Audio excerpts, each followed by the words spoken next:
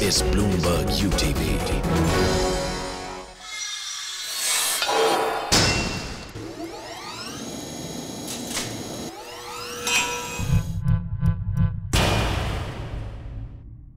This is Talkback. I'm Hindol Gupta. I'm delighted to welcome a very special guest on the show today. She's written a new book. In that book, on the cover of the book, she's described as a unique person. Somebody whose father was murdered, whose uncle was murdered, whose aunt was murdered, whose grandfather was murdered. She, of course, is Fatima Bhutto from the legendary Bhutto clan of Pakistan. Is she going to carry forward the legacy? And if yes, how will she do it? I wanted to begin by asking you, it's, I read your book from cover to cover. It must have been in some senses a cathartic process researching and writing the book. And you pretty much say so in the book. Now that you're over and done with it, do you feel more at peace or do you feel more troubled?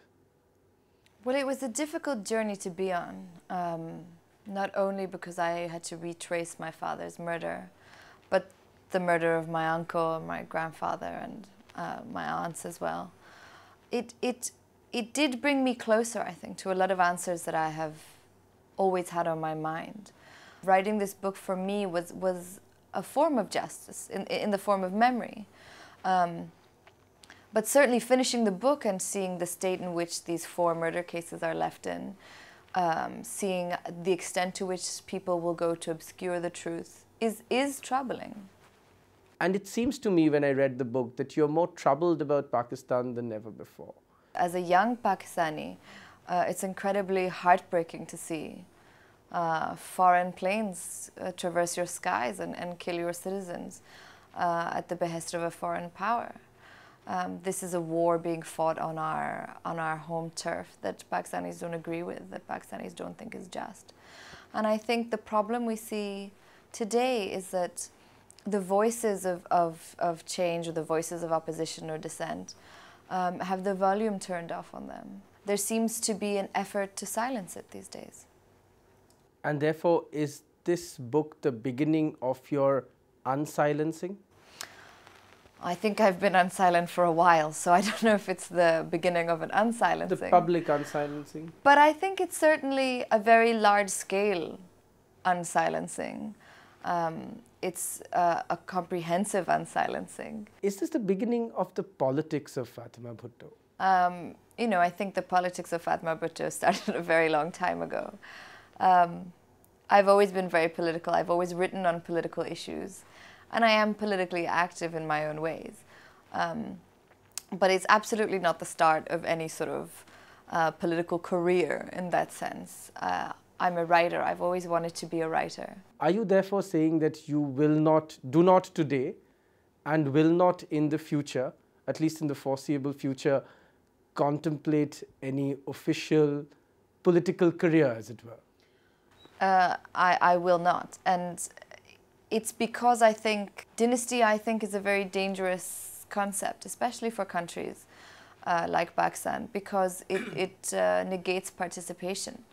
Uh, it's an ex exclusive system, it's an entitled system, and we can't really claim to be working towards any kind of uh, open or participatory democracy when we are enhancing uh, the politics of dynasty.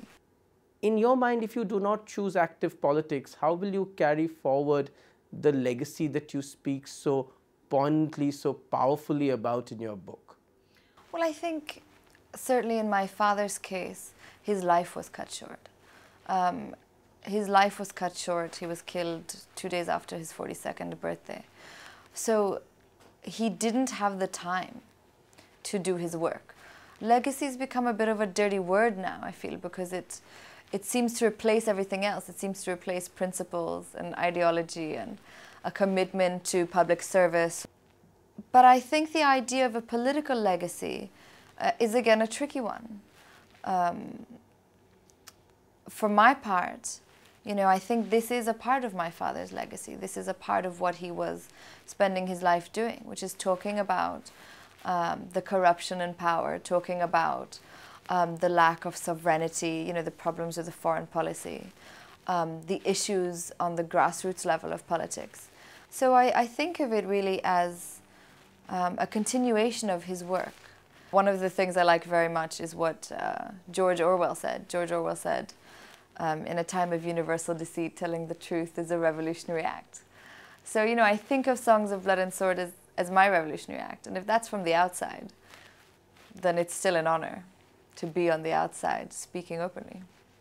So much of your book is a critique not only of the policies of the current sitting government in Pakistan, the president, the prime minister, uh, their political legacy in a sense, but also of the people themselves. In fact, you essentially call them crooks, thieves, and murderers.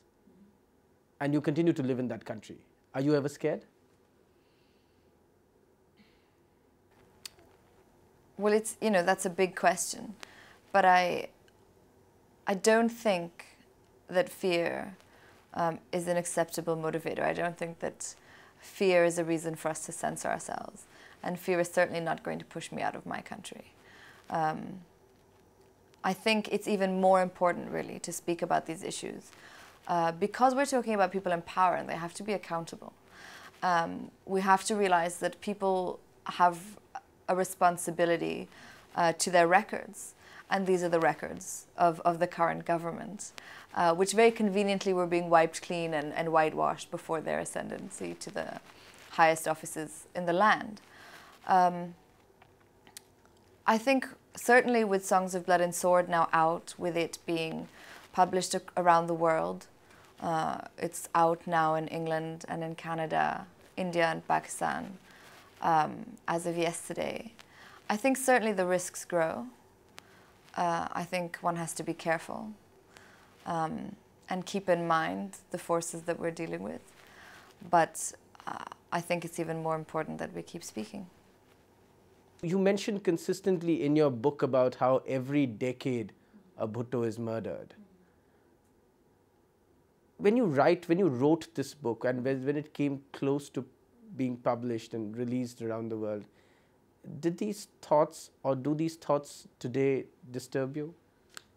Well, it disturbs me that there are people who will go to no end to make sure that the truth is not heard. It disturbs me to know that power protects those um, who have an interest in obscuring the truth, who have an interest in obscuring justice.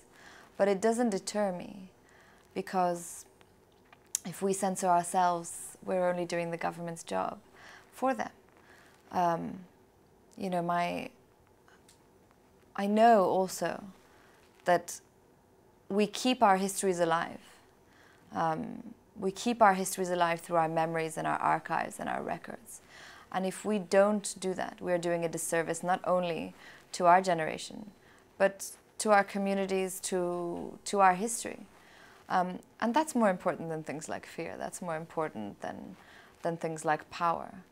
Um, and certainly, you know, this book for me, Songs of Blood and Sword for me, um, is, is a labor of love. It's a, it's, a, it's a love letter, really, to my father. And, and, and love will always be a, a more powerful force than fear, I think. Is it closure, Fatima Bhutto? I don't think it's closure. I think when one is seeking justice, um, you can never really underestimate how long the road is. Um, I think it's a start rather than, than an end. I think the road to justice is long. I think life is long. And we seek it still. And I, I am hopeful that one day we will get justice.